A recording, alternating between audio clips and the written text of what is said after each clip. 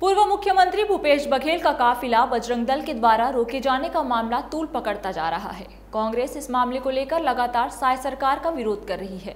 वहीं कल इसी मामले में थाना घेराव को लेकर पुरानी भिलाई क्षेत्र में भी कांग्रेसियों पर लाठीचार्ज किया गया। जिसके बाद कांग्रेस अब पूरी तरह से उग्र नज़र आ रही है।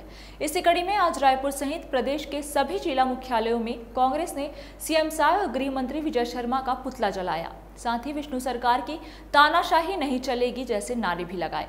प्रदर्शन के दौरान पुलिस दल भी मौजूद रहा। कांड में हमारा काम अंदर करना नहीं था। हमारा काम था कि उच्च स्तरीय जाँच हो और वो जाँच चल रही थी।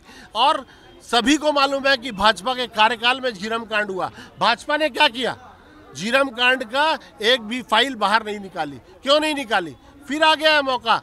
फिर करना चाहिए। क्यों नहीं कर रहे हैं? लेकिन ये फिर चाहते हैं कि कांग्रेसी नेताओं के ऊपर हमले हो और ये कांग्रेस के नेतृत्व को खत्म करना चाहते